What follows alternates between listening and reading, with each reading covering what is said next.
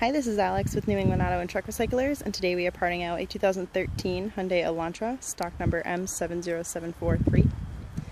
The driver's side door does have about a 4 hours of lip damage, but is still repairable. The rear door and quarter panel are triple zero insurance quality. We also have some B-grade 16-inch aluminum wheels. These are in average condition for the year.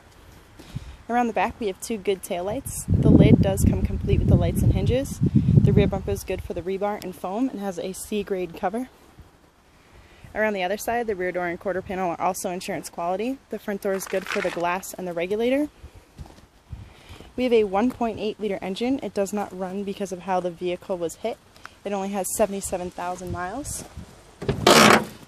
Inside, we have a tan cloth interior with manual seats. Both of the seats are in good condition. We have a good speedo and column with tilt, cruise, and delay, and we also have a good master door switch and some good trim panels.